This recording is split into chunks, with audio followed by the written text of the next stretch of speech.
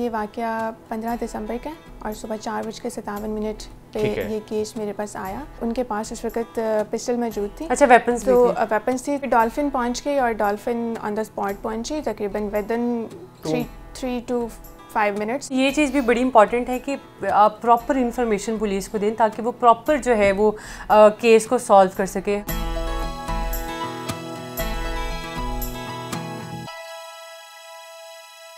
वालेकुम good morning safe city के साथ मैं आपकी होस्ट रिमशा आवान। और मैं हूँ मोहम्मद फाइक। इस दुआ के साथ कि खुदा अपनी रहमतें बेपाया से आपका दामन उम्मीद भर दे और इस उम्मीद के साथ कि आज का दिन भी आपका बहुत अच्छा गुजरे नाजिन आपको बताते चलें कि पंजाब सेफ़ सिटीज़ अथॉरिटी के आईसी थ्री डिपार्टमेंट में 24 four by seven police communication officers अपने ड्यूटी के फ़राइज सर अंजाम दे रहे होते हैं। और इसी दौरान अगर कोई कॉल आ जाती है कोई भी मसला दरपेश आप लोगों को आता है तो क्या करते हैं पुलिस कम्युनिकेशन ऑफिसर फौरी उसको हल करने की कोशिश करते हैं। तो पिछले दिन एक ऐसा ही वाक्य हुआ हमारी एक पुलिस कम्युनिकेशन ऑफिसर ने एक खातून का मसला बल्कि उसकी हेल्प की हेल्प इस तरह से की जान। खतरे में थी और उसकी जान किस तरह से उन्होंने बचाई क्या वाकया था? और उन्होंने किस तरह से उस कॉल को डील किया उन्हीं से बात करते हैं। हमारे साथ प्रोग्राम में मौजूद है निमरा अक्रम उनको वेलकम कहते हैं। निमरा ये मुझे बताइए कि आपने एक खातून की जान बचाई ये वाकया क्या था?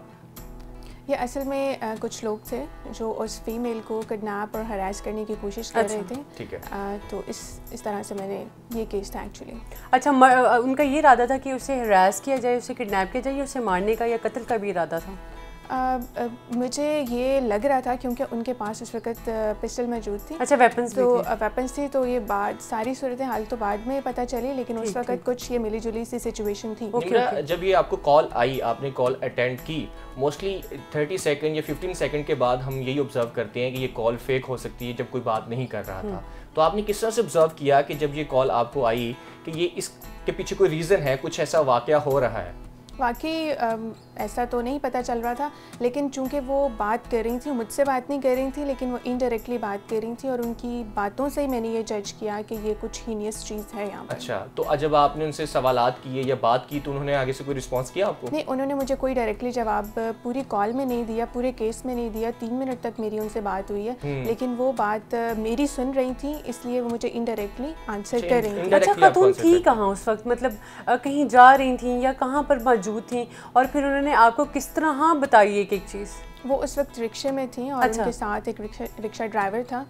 तो वो उस वक्त रिक्शा ड्राइवर किडनैप करके लेके जा रहा था। नहीं रिक्शा ड्राइवर नहीं लेके जा रहा था रिक्शा ड्राइवर तो उसको घर ही लेकर जा रहा था। रास्ते में उसको तीन लोग मिले थे और, ओके, ओके, ओके। जिनमें से एक शख्स जो था वो रिक्शे में आके उसके साथ बैठ गया था। ठीक है। निमरा ये मुझे बताइए कि जब आपने उनकी कॉल सुनी कोई ऐसे अल्फाज उनके सुने आपने कि जिसके बाद आपने ऑब्ज़र्व किया हाँ कि इसके पीछे कोई रीजन है कुछ कुछ ऐसा वाक्य ये वैलिड है? कॉल हाँ। या ये वैलिड कॉल है?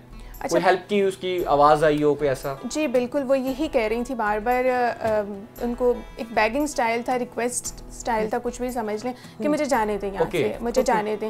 और लेकिन वो जो शख्स था वो रिक्शा ड्राइवर को ये कह रहा था कि आप उतरें आपका जितना जो बनता है आप हाँ, वो। ले लें और आप जाएँ।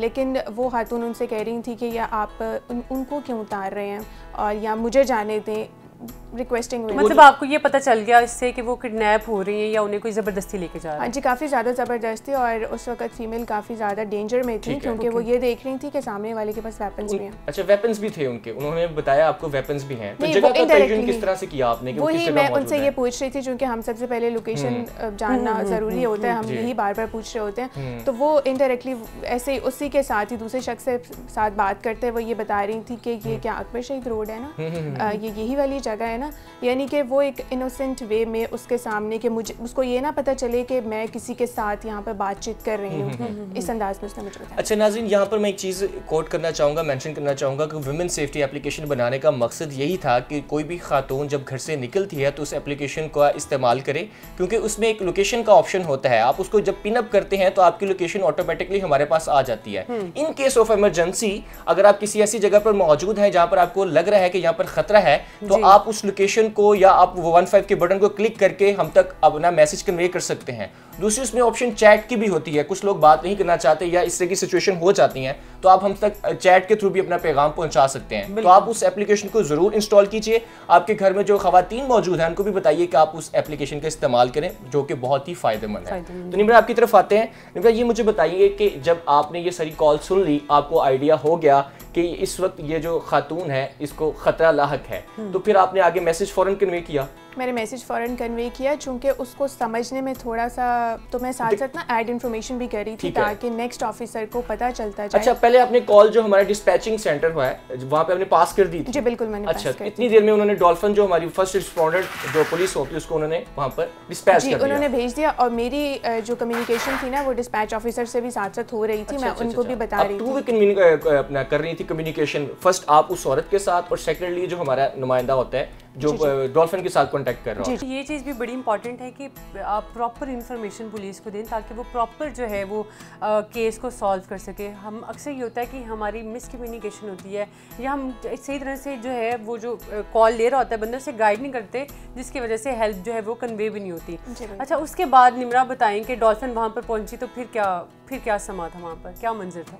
फिर डॉल्फिन पहुँच गई और डॉल्फिन ऑन द स्पॉट पहुँची तकरीबन with three three two five minutes यही टाइम था।